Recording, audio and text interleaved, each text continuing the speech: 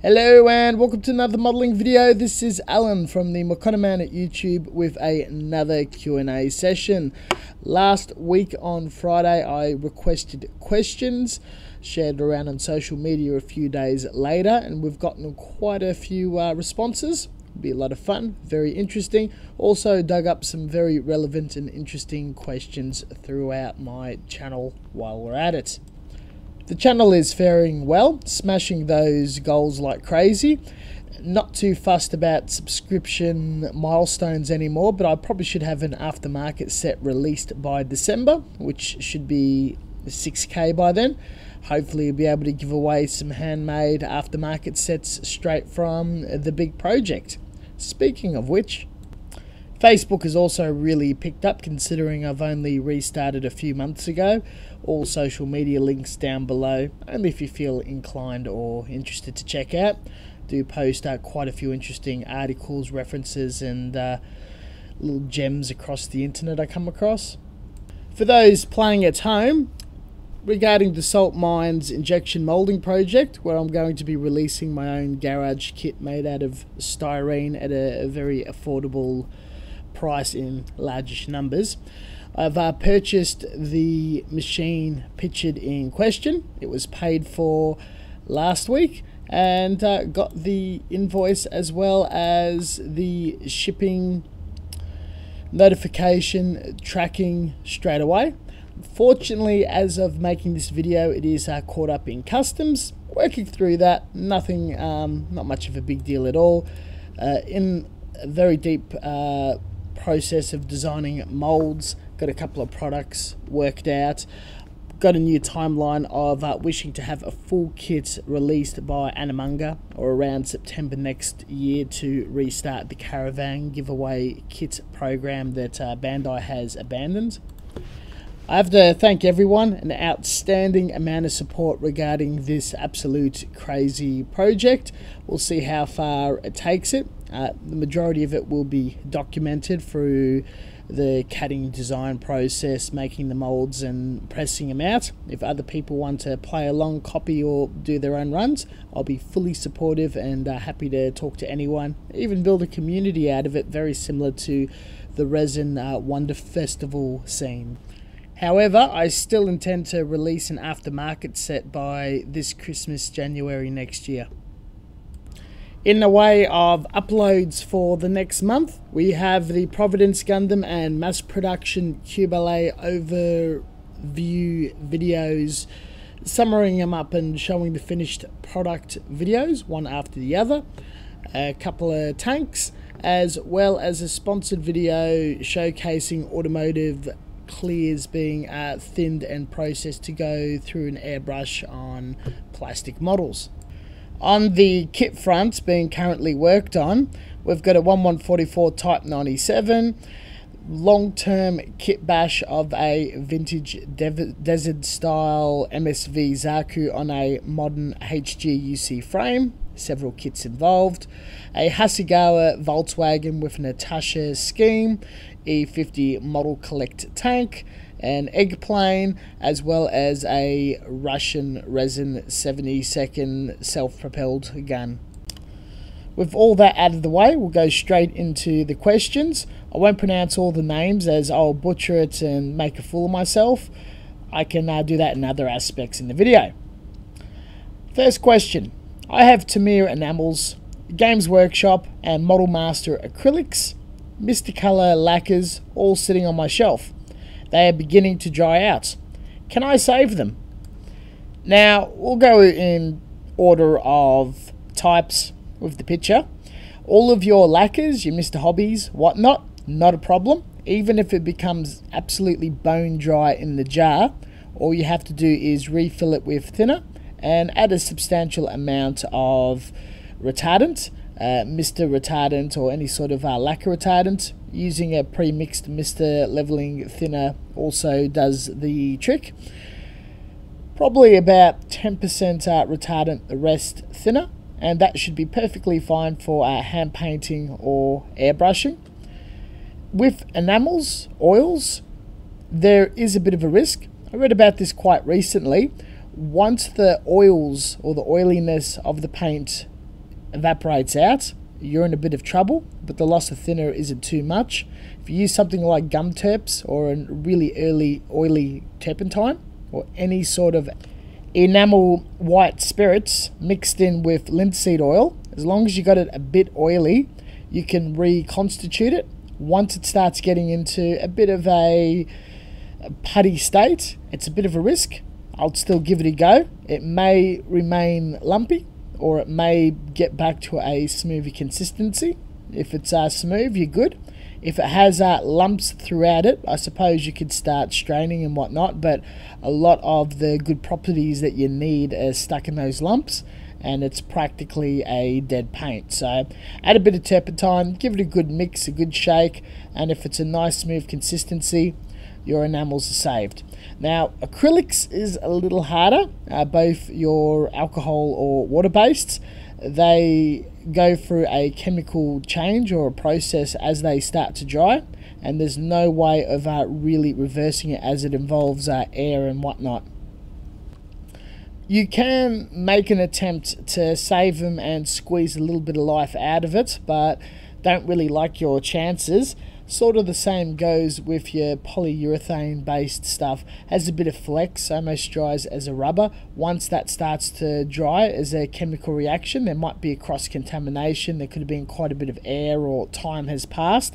Uh, generally, they die. But uh, your lacquers, your lacquers are always safe. Your enamels is a race against time. Get them oily. Everything else is a complete write off. Uh, reason why I'm mostly keeping uh, lacquers at the moment and sort of uh, distance myself from everything else. Though generally, I find very nice uh, airtight containers like your Tamiya acrylics and whatnot.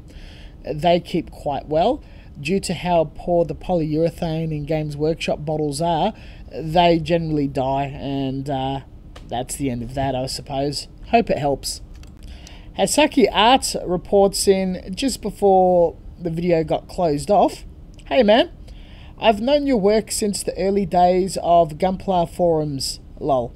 Anyway, my question is, do you have any plans to do heavy modding or scratch building an original mech design, or one that hasn't been made a model of? Now, it's always a pleasure to meet people from the early, mid, late 2000s during the forum scene online, well before any of the social media comes out. And I posted quite a bit of work, did some crazy uh, kit bashes, scratch building for all materials like styrene, putty, all that sort of thing. They weren't very good. Uh, hand me down kits, some of them no grades, high grades, a couple of bootlegs, all that sort of thing.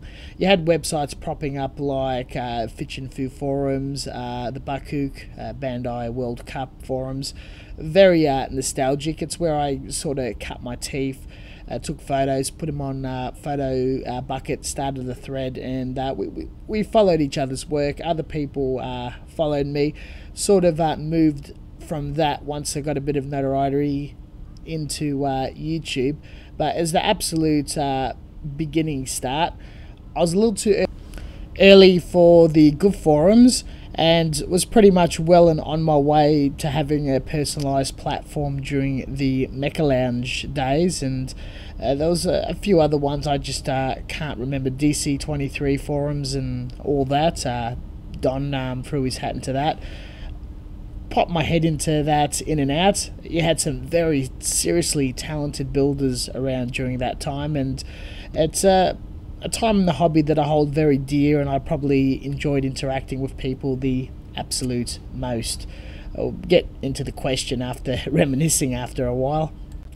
Now, besides the kitbashed Zaku that I've been working on for a little while, I'm taking a bit of a break from the Gundam scene, particularly working on a large diorama or a master grade, the whole Gunpla Builders World Cup or a flagship build of the year sort of focusing on uh, 3D printing, CADing, uh, all that sort of thing, and producing mold and tooling to create aftermarket parts and eventually my own design mech kit from scratch that can be uh, molded and uh, sold as general uh, channel or uh, merchandise around the branding.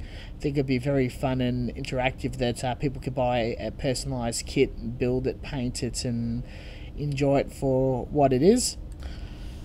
That is uh, generally where I'm heading. It's going to be heavily documented in photos on social media and on this channel as well. The CAD process, getting the prototype um, SLA 3D printed, cleaning it up, test fitting it, painting it, doing the whole primed uh, prototype show off before the first uh, casting and doing little minor adjustments the process seems very fresh, new, exciting to me, opposed to doing a crazy uh, 3D print, scratch build, kit bash, chopping up, airbrushing job, or large diorama for a competition.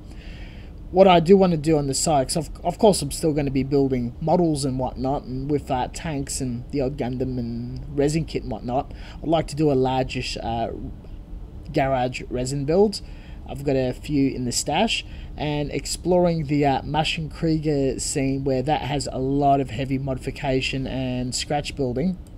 I would absolutely love to embrace that style of model and building. Been following it for a long time and either jump on a Maschinen Krieger kit and bash it and chop it up quite heavily or go down the route of um, Kyo and uh, get some motorcycle parts, military kits, and a lot of putty and parts, and just build something absolutely uh, original and crazy that uh, fits that scene, as well as uh, share it around. Or I get more into the Australian Maschinen Krieger scene later on in the video from a requested shout out, but generally that's where my headspace is at the moment. Very excited for my new project, as well as just going through my usual antics. But I do get the hunger to uh, cut up styrene parts, use the ultrasonic knife, use a 3D printer, and busting out the odd Gundam and changing parts and whatnot is something that will never die out. But I think a break of just refinding my feet, what I used to do, creativity and all that, and uh, just getting back to where my base and uh, core modeling style used to be and updating it with uh, the new airbrushing skills and uh, technical bits and pieces I picked up along the way and just see where the new form is at at the moment. I'm still very happy to look at the Qubeley as well as uh, the Providence Gundam and put that as uh, where I'm roughly at in the way of uh, my modeling journey. Thank you very much for the question. Don't ever be a stranger around here. SigX asks, and a very nice thumbnail avatar, by the way. I have used different grits of sandpaper, but the nub marks does not want to disappear, and I do not want to damage my kit. And using foils is just too risky for me. I cut the nub mark little by little before using sandpaper. Thanks. So you've got the right idea of doing the double cut with nippers. You trim it down as uh, smooth as possible with the knife, still leaving a nub and not gorging out the plastic. Though as you're uh, sanding it down, you're uh, not removing enough material to level that nub down to the surface of the plastic. And uh, using um, foils, which I believe it's sort of like bare metal, and you get that reflective finish or whatever paint or style of uh, finish you're trying to achieve isn't uh, quite feasible at this point, from my understanding. I think you might be afraid to use too coarse grit sandpaper, and maybe your range of sandpaper is lacking. Uh, from the few videos and models I've been making, I like to have a collection starting about 120 240. 240 is very good for uh, plastic. It's very coarse. It is going to leave scratches and marks on your model, but it removes a mass amount of uh, material until it's uh, absolutely flat and plain with the surface. So getting a small amount, folding it in half, dipping it in water so it's leaving less abrasion and damage to the plastic, you're able to wear down the material till it's nice and flat. Then as you use more high grades sandpaper, you're actually filling in the abrasions material layer by layer until it's as smooth as what the original plastic came out of the mold. And this is very possible with what available on the airbrush, not airbrush, sandpaper market. Now, as I mentioned, 240 I find that removes uh, putty, nubs, all that sort of thing. And you go down to about 400-ish grit, 800-ish grit, you're starting to remove the scratch marks and the white distorted uh, bit behind if you're not painting your kit through stress of the nipper. Once you go into 1000 grit, 2000 grit, you're polishing the surface until it's back to its original sheen. And you can keep going up uh, the thousands so it's perfectly smooth for your uh, metallic finishes and whatnot. And realistically, for each uh, nub and each grade, it's not very hard. Have all your sandpaper pre-cut, pre-marked, and when you cut it, you sand it a little bit with every grit, four, five, six sheets of paper, and it'll be very, very smooth for painting. It's very easy. You rock the pressures. When it's a very low grit, use as little force as possible for your fingers. As you go up the grit, you apply a little more force until you're in your thousands and you can go nice and hard without changing the shape of our curves, pipes, detail, that sort of thing. If you're skeptical that you might be removing too much material, it's not going to work out, you're not going to get rid of the scarring from the more coarse sandpaper, uh, sand a part that doesn't matter, or maybe some of your runners or uh, the inner part of the kit. Do a bit of practicing, and if you're very happy with the finish, apply it to where you need to do it for your project. I hope this helps you out, mate. Next question. Hi, I'm having problems with Tamiya gloss acrylics. When I spray thinned like any other paint, they don't look glossy at all, but more like glitter, with tons of shiny dots and not uniformed gloss. I've never used gloss paint before, so I'm completely lost what I'm doing wrong. If you know, I appreciate the help. Cheers. This isn't very an unusual problem. Uh, Tamiya's paints aren't really renowned for their super deep sheen gloss. You normally move to more lacquers if you're doing something like a showroom car or whatnot, but they're quite notorious for being quite drab for vehicles, figures, ships, all that sort of thing. And even their gloss is uh, very light on and not uh, uniformed in a almost uh, wet look state. It is possible to do, though the build-up of the gloss sheen in paints is how much resin is involved in the paint to its uh, amount of pigment that's present. What you may need to do is after you apply the gloss coat down and you let it dry, apply a few layers of uh, Tamiya Gloss Clear. Give it a bit of a polish with uh, 1, 2, 3, 5000 grit sandpaper and apply a few more coat, coats of clear. Be very generous with the clear paint with thinner. You can actually thin it far more down than you do normally with your paints. And once it's fully matured, Tamiya clears and paints are quite chemically resistant to lacquer, so you might put a couple of coats of uh, lacquer gloss to help build up that wet look sheen. It's more of a layer issue than what you're doing. What you're doing is absolutely correct and okay.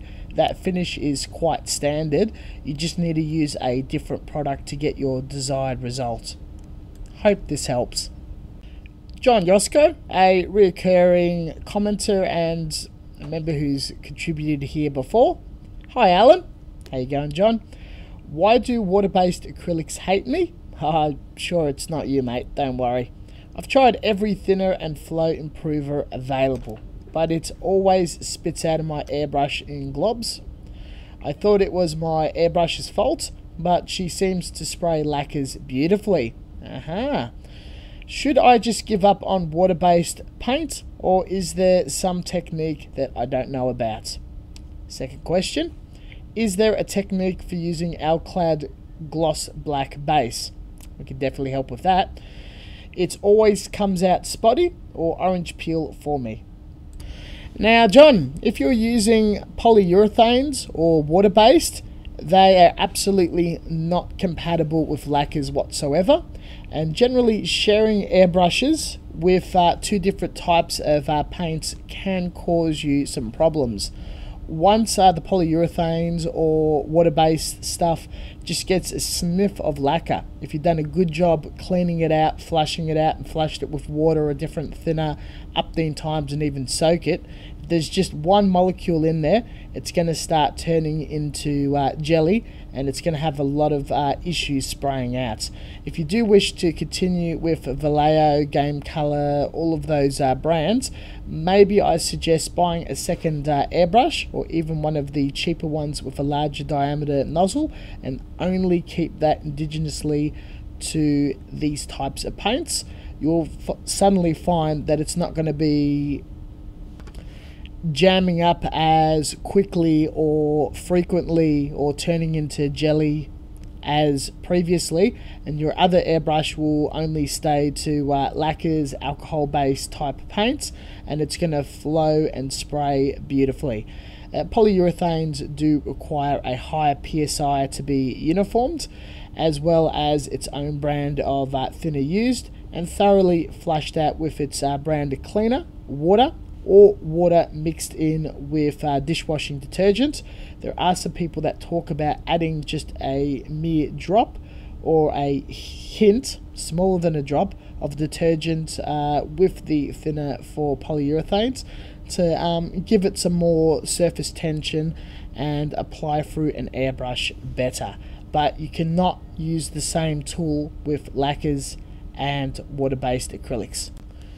However, if it happens to be alcohol based like Tamiya, Gunze, that sort of thing, then you're probably being very lazy with your airbrush uh, maintenance. Normally, those paints can take a uh, amount of uh, lacquer thinner or even thin it down to a certain percentage with uh, lacquer thinner and uh, keep its consistency quite nice. So there could be other contaminants in it but those two families, your uh, alcohol based acrylics and your lacquers, are completely compatible and can be used through the same machine.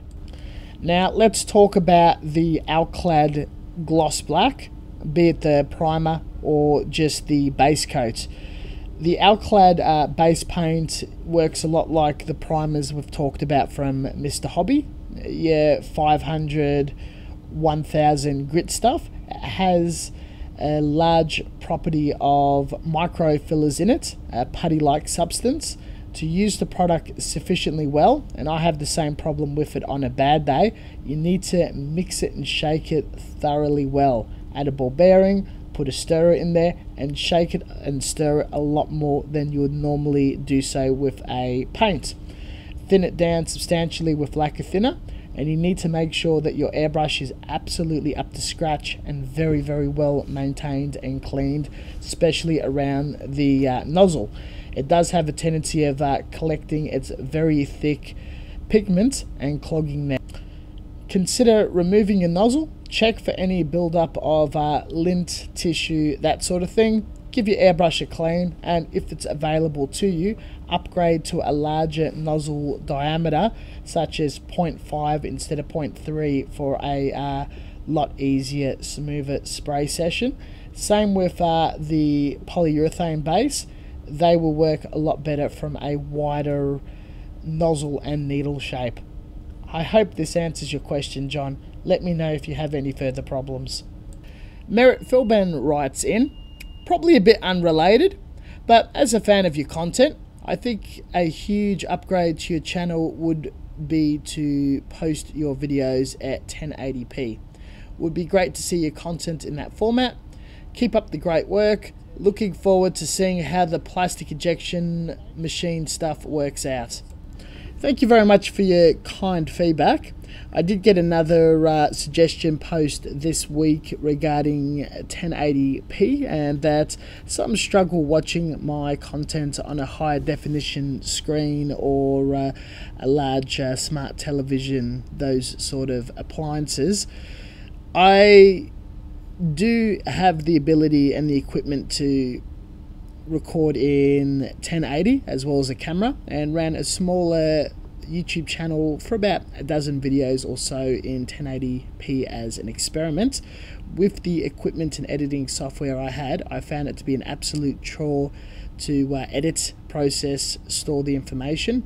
I'm operating a 7 8 year old uh, laptop with outdated software, editing software, and all that sort of thing. It is on the cards to upgrade but it's something I've been putting off for a long time as upgrading the computer, the operating system, finding a new editing software, and learning how to roll with that. Uh, Windows Movie Maker does have its points and makes pretty good, very basic slideshow videos with uh, audio commentary.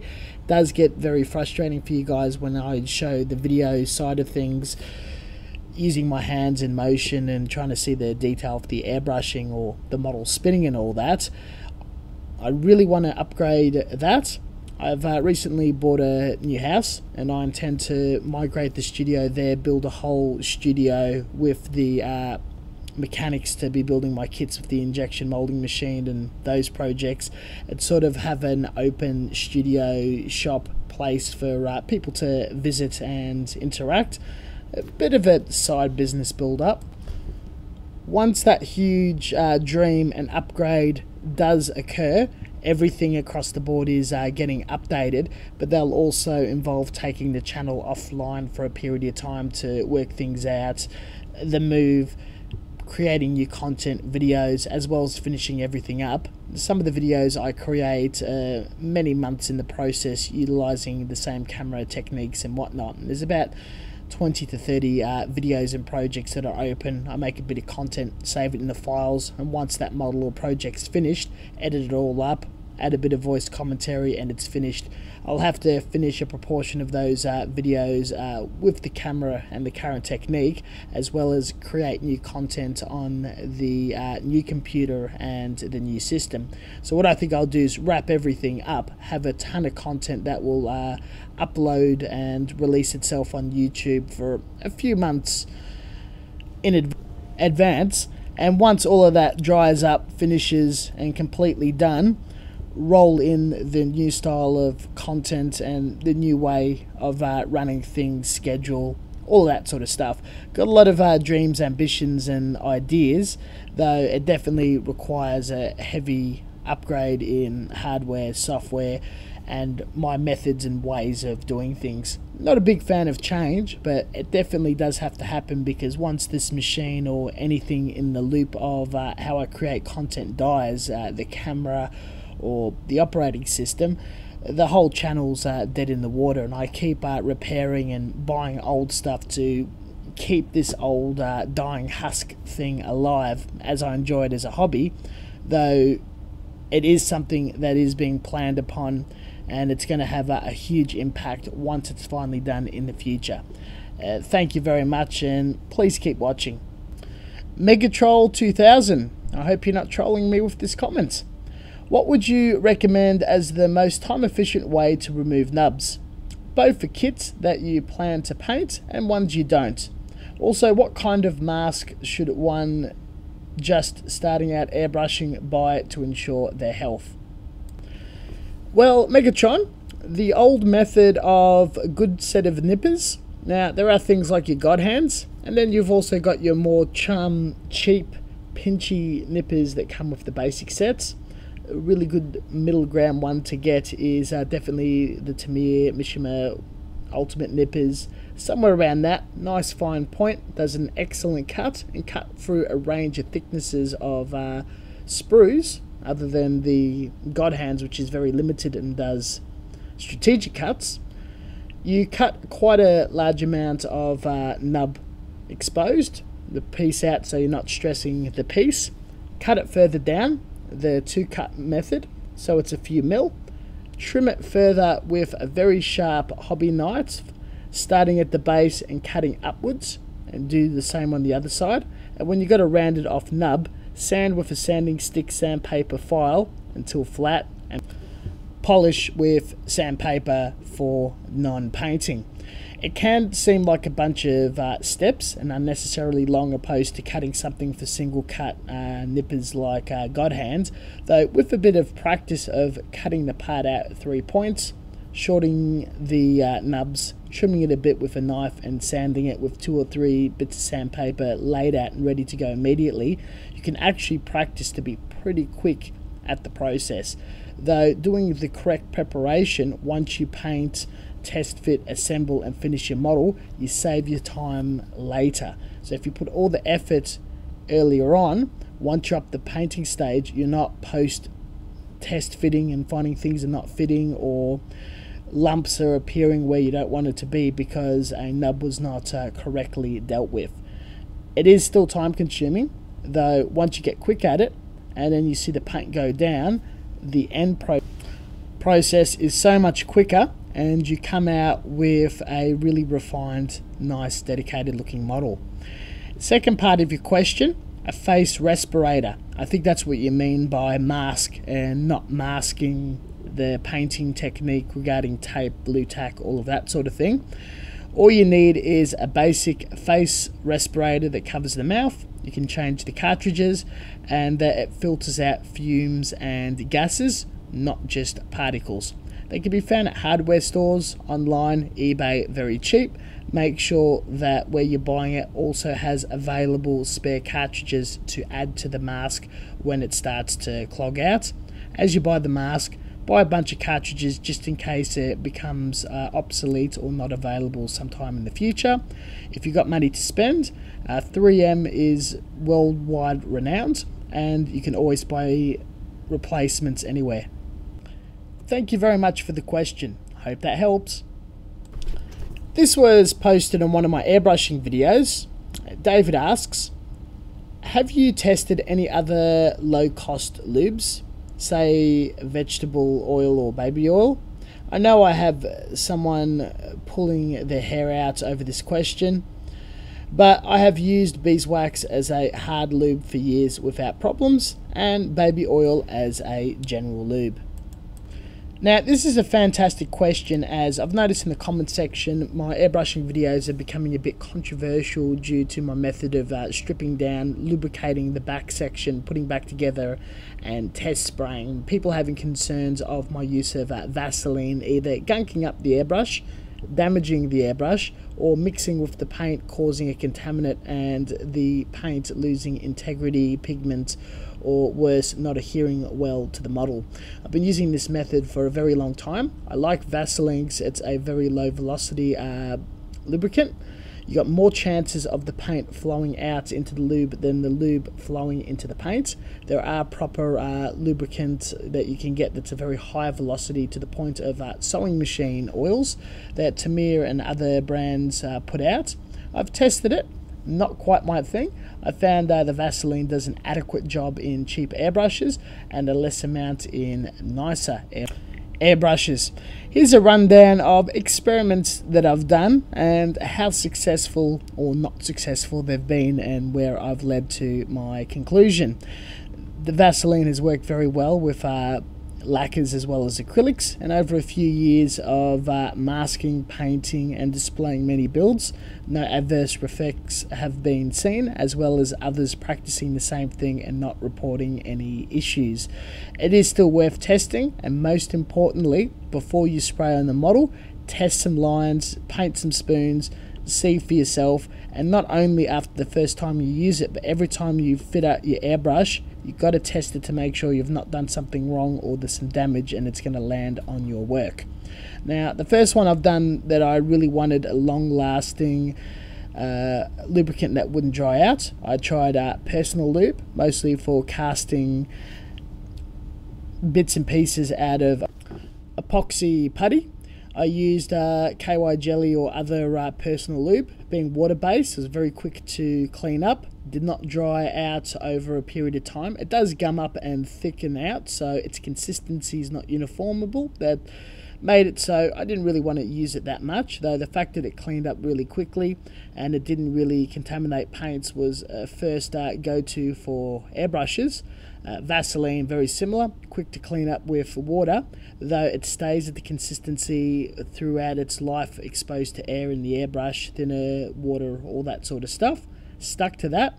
I have a concern with vegetable oil, even though you can clean that up, not as easily with uh, water, the same with baby lube. It's a, very high velocity and it has a chance that it could seep into uh, the cup, but that's only my concern. I have not tested it out uh, thoroughly. I've also been experimenting with different types of uh, beeswaxes. I found that to be really good airtight sealant around nozzles and whatnot. I suppose if you heat it up and rub it down on all the different components and reset up your airbrush as it's rubbing up against each other, it's uh, going to stay dry. It's going to seal so paint does not um, go backwards and into the back end of the trigger and air solenoid and all that. It'll take a lot longer to lubricate up your airbrush from going into a liquid state to a solid state through heat, though your airbrush is going to be in tip-top shape for a lot longer period of time, and by soaking it in very hot water, it will pretty much uh, dissolve and clean up quite easily. So I reckon beeswax would be an amazing lubricant for airbrushes, and as well as the actual branded stuff, sewing machine oil will do the trick by just gently coating all the pieces of the Q-tip. I do heavily encourage experimentation. Different lubricants and different jobs, different airbrushes suit different people and different styles, depending on how your regime, understanding of airbrushing, and your style goes. No two people airbrush exactly the same. Some people like the way I do it with Vaseline. Other people want a higher velocity. They like to use branded stuff. Don't really shame anyone for doing the wrong thing. You can let them know if you're comfortable, if it's within your style or not. Though what you must never use in your airbrush is silicon lubricant. And that can be a bit confusing as Tamiya does do an offering for slot cars. What this product does is if it makes any contact with paint, it destroys the adhesion 100%. Anything that that stuff touches, paint will just slide off or never adhere to the surface. That batch of paint is ruined, that airbrush is potentially ruined and will need to be cleaned thoroughly, and if it lands on the surface of a kit without being soaked and sanded or scrubbed in chemicals, that patch of kit will never have paint adhere to that correctly, and that could cause all sorts of problems that you will not diagnose easily. Uh, I like to recommend Vaseline as that's not going to cause problems, though once you start venturing outside, do not touch silicon lubricant do not have that involved uh, in your hobby, in your painting area, anywhere, unless it's uh, a resin casting thing. Then do that sort of work um, away from your uh, regular uh, work area and thoroughly clean it with uh, detergent, water, and whatever chemicals until you can start introducing paint to it. Hope that uh, definitely tips some people off and helps them out, covers that sort of controversy around my videos noob question Is this a top coat? That's a pretty good, interesting point of discussion. Now, top coat is not particularly a product or a type of paint, but more so a process. And this can be very tricky as some of the Japanese brands would put the term top coat on a rattle can or a bottle as it's preferably used as a top coat, but it can really be used as anything. The definition of a top coat is a layer of clear paint to protect, either be a paint, a surface, decals, pigment, weathering effect, anything like that. And there's different products for different uses. Most of them are generally via rattle can for ease of a uniform surface of a large or small surface, gloss or matte, sometimes marketable as UV cut so it won't yellow over time being a high quality thing. They could be acrylic, they could be enamel.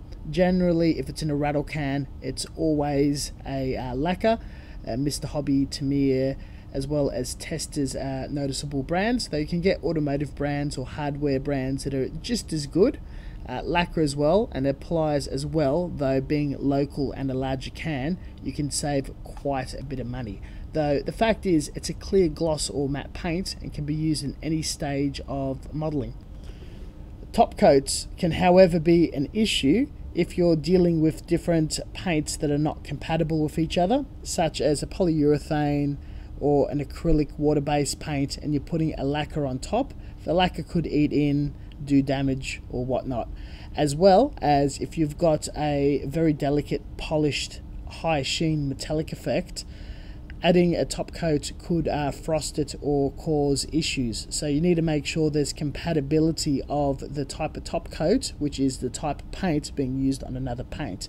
So just treat it as any other paint that's uh, transparent when you're designing for the effect, the brand of paints, all that sort of thing. Top coat is also very useful for masks and then you put another bit of paint on top, no longer a top coat, or for buffing, polishing, then putting a final seal to improve its finish. El Chen, in response to the US Gadget ultrasonic cutter, great review. Thank you so much. How much did it cost? Did you look into the difference between your machine and this Honda Electronics ultrasonic cutter USW334? I guess cutting metal and wood are out of the question. Thanks again. Now, generally, these machines retail around the four five hundred dollar mark from its indigenous country. The original Honda one was far more expensive as it was one of the very first to hit the market. The US Gadget one sort of made the price a bit cheaper, and eventually a South Korean uh, model dropping the price even further via a Kickstarter Indiegogo campaign. I have used uh, two of the models, the US Gadget as well as the Wonder Cutter, all seen in the picture, though all three of them share a very similar component that does the same performance as well as output. So the box doesn't really change anything. In the way of uh, metal and wood, metal's a big no, wood only soft, very, very thin. Woods like balsa. Generally, the materials covered by Wonder Cutter is things like your various types of uh, plastics and uh, rubbers, cork, paper, cardboard, that sort of thing. In the uh, picture provided, the active uh, components to all of this is the oscillator, which is the last metal rod, has a horn, attaches a knife. There's a few uh, variants out on the market uh, pictured to the right.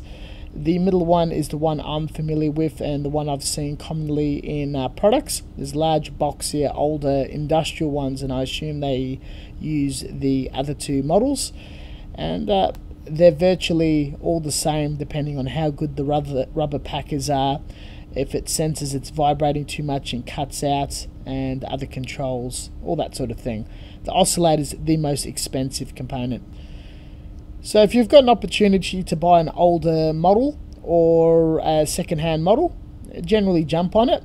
They will eventually lose its calibration. You can replace the rubber rings, improve the inside, pack it a bit better, though generally the performance is going to remain the same as long as the oscillator is uh, fine and vibrating away the amount of times it needs to and the handle's got nice uh, sound condition so isn't going to break down the electricals can generally be repaired.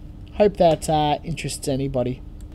Now just quickly someone's trying to throw a bit of shade Webby NZ uh, calling out another YouTuber after saying you were for the community unsubscribed. Not too fussed about that really, but having a closer look what he's exactly uh, talking about.